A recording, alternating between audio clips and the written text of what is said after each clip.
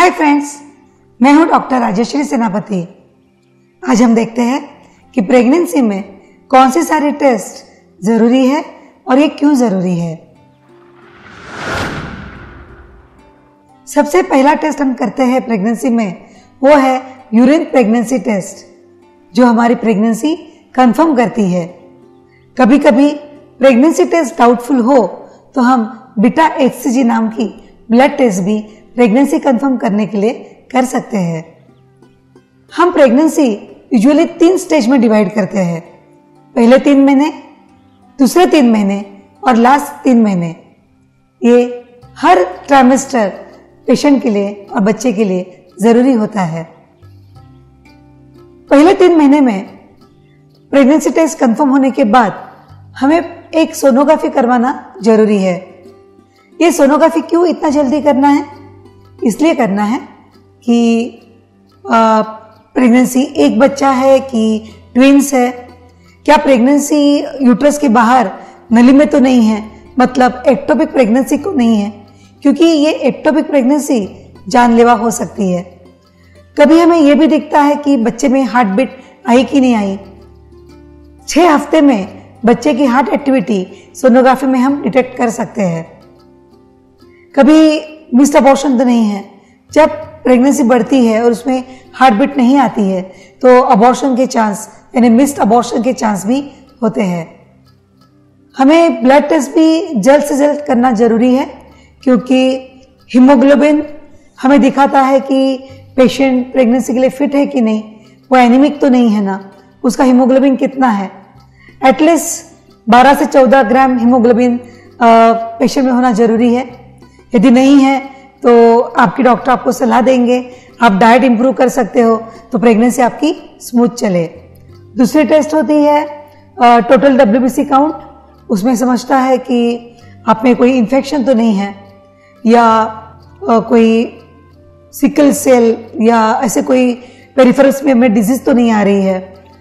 आ, हम blood group करना बहुत इंपॉर्टेंट है। यदि आर एच निगेटिव है यदि कोई पेशेंट आर एच निगेटिव है तो उसके हस्बैंड का भी ब्लड ग्रुप करना ज़रूरी है।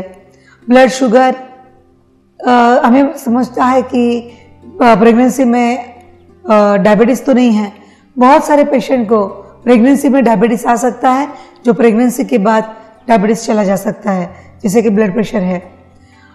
और एक टेस्ट हम कर सकते हैं H I V V D R L जब हम डॉक्टर हमें ये टेस्ट लिख के देता है, हमें लगता है, अरे, ये क्यों टेस्ट कर रहे हैं? लेकिन एच है बी डी आर एल है H B S A G यानी ऑस्ट्रेलिया एंटीजन है। ये टेस्ट जो होती है, ये मैंडेटरी होती है क्योंकि यदि कोई इन्फेक्शन है आपको या आपके पार्टनर से आपको इन्फेक्शन आया है तो ये प्रेगनेंसी में डिटेक्ट हम कर सकते हैं और बच्चे को हम इसके साइड इफ़ेक्ट से बचा सकते हैं क्योंकि इसकी मेडिसिन अभी अवेलेबल है। और एक टेस्ट करनी है यूरिन रूटीन टेस्ट ये यूरिन रूटीन टेस्ट इसलिए करनी होती है कि प्रेगनेंसी में अपनी इम्यूनिटी कम होती है। तो प्रेगनेंसी में यूरिन में इन्फेक्शन हो सकता है। तो यूरिन रूटीन में हमें इन्फेक्शन की जानकारी हो सकती है। थायराइड टेस्ट भी हमें करना ज़रूरी है, क्योंकि थायराइड डिसऑर्डर यदि प्रेगनेंसी में हो तो प्रेगनेंसी में बच्चे को या माँ को तकलीफ़ हो सकती है। ये हम जल्द से जल्द डिटेक्ट करते हैं तो प्रेगनेंसी अपनी स्मूथ जाती है। 11 टू 13 वीक्स में भी हम सोनोग्राफी कर सकते हैं।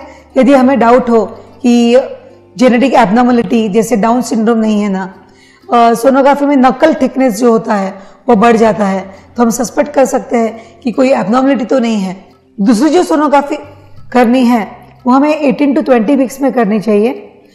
ये क्यों करनी चाहिए? क्योंकि आ, इंडिया में लीगल अबॉर्शन 20 वीक्स तक ही कर सकते हैं। यदि हमें बच्चे में कोई एबनॉर्मलिटी दिखती है आ, तो हम डिटेक्ट करके ज़्यादा तकलीफ़ है तो बच्चे को अबॉर्ट कर सकते हैं। इसीलिए हम 18 टू 20 वीक्स में या 16 टू 18 वीक्स में हम डिटेल एबनॉर्मलिटी स्कैन करते हैं। ये सेकेंड ट्राइमेस्टर में हमें आ, हमारे हीमोग्लोबिन वापस रिपीट करना चाहिए यूरिन भी रिपीट करना चाहिए और ग्लूकोज टॉलरेंस टेस्ट होती है। ये इसलिए करनी चाहिए कि कभी कभी ये सेकेंड ट्राइमेस्टर में मतलब बीच के तीन महीनों में कभी कभी डायबिटीज़ मदर को आ सकती है, या सपोज़ अपना ब्लड प्रेशर बढ़ गया है तो डॉक्टर आपकी यूरिक एसिड या लिवर फ़ंक्शन टेस्ट ये टेस्ट भी कर सकते हैं। लास्ट तीन महीने, यानी लास्ट ट्राइमेस्टर भी बहुत इंपॉर्टेंट होता है। आप इंटरवल ग्रोथ के लिए डॉक्टर आपकी सोनोग्राफी कर सकते हैं। सोनोग्राफी में देखते हैं कि अमाउंट ऑफ़ लाइकर मतलब अंदर पानी कितना है। बच्चे का ग्रोथ हो रहा है कि नहीं? बच्चे का वज़न बढ़ रहा है कि नहीं?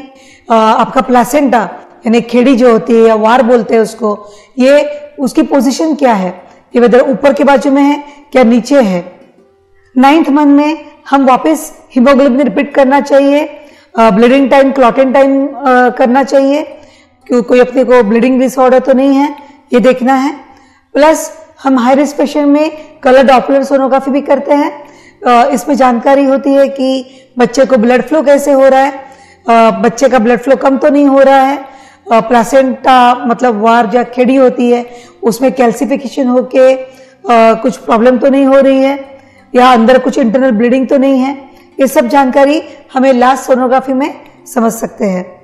यदि आपकी प्रेगनेंसी डेट के ऊपर जा रही है, या आपकी प्रेगनेंसी हाई रिस्क प्रेगनेंसी है, या डॉक्टर को लगता है कि अंदर पानी या लाइकर कम है, या बच्चे का वज़न कम है मतलब आयु जी आर बच्चा है तो आखिरी महीने में हर वीक आपकी एनएसटी यानी नॉन स्ट्रेस टेस्ट भी डॉक्टर करता है।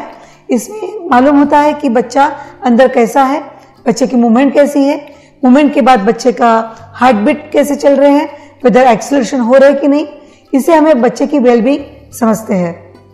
जब हमारा कॉन्ट्रैक्शन चालू होता है, यानी लेबर पेन चालू हो जाते हैं, तभी कॉन्ट्रैक्शन स्ट्रेस टेस्ट मतलब डिलीवरी के थ्रू जब हम नॉर्मल लेबर पेन में जाते हैं, तब बच्चे की हार्ट एक्टिविटी कैसे चल रही है?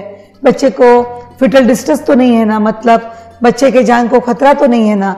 ये सब हम डिटेक्ट प्रेगनेंसी के दौरान नॉर्मल लेबर के दौरान कर सकते हैं। आई होप ये जानकारी आपके लिए उपयोगी हो। Thank you so much